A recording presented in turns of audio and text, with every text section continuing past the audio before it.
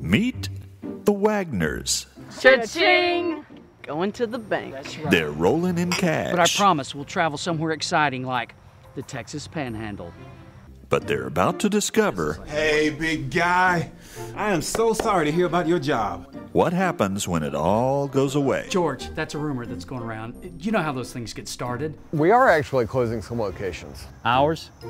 No, not yet anyway. But I cannot believe you are firing me on a golf course.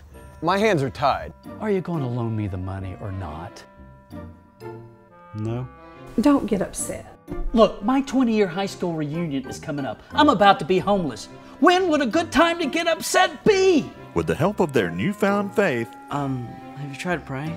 Well, yes, we've prayed. I've prayed for another job. I've prayed that, that God will let us keep the house. and financial expert Dave Ramsey, Joe from Nashville's on the line. Welcome to the Dave Ramsey Show. Hey Dave, how are you?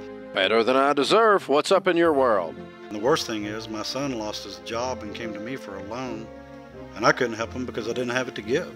they'll make their 20th class reunion Tiffy, Kay, Kay, Kay! an event they'll never forget. All right, got a pattern going here. the biggest house, nicest car, cutest dog, smartest cat, so on, and so forth. Roger and Diane. Let, let's give Roger and Diane a big hand.